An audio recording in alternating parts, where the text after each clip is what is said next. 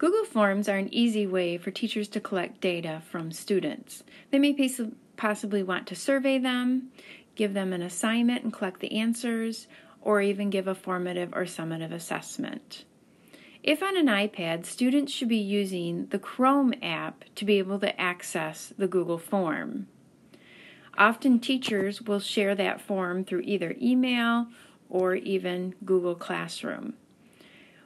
What you're going to want to do before you share the link with the students is have them do a setting change in their Gmail app. So I'm going to navigate to Gmail very quickly. When you're in your Gmail app, what you're going to need to do is change a setting. I'm in my Gmail app installed on my iPad. In the upper left hand corner, I'm going to navigate to the three little bars. Tap on that. I'm going to scroll down to the very bottom. It's going to say settings, and I'm going to tap on settings. Once I'm in my settings, I am looking for where it says Google App Settings, and I'm going to hold my finger on that, and now I'm going to open it. At the very top, these are the Google App settings, and it's going to say Open Browser In, and currently it is defaulting it to Safari, as you can see.